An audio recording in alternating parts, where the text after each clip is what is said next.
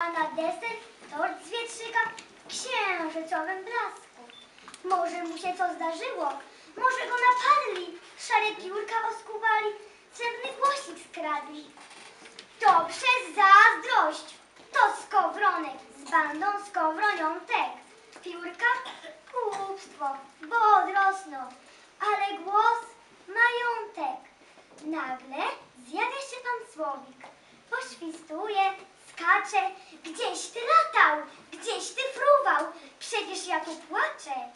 A pan Słowik słodko ćwierka, wybacz moje złoto, ale wieczór taki piękny, że szedłem piechotą.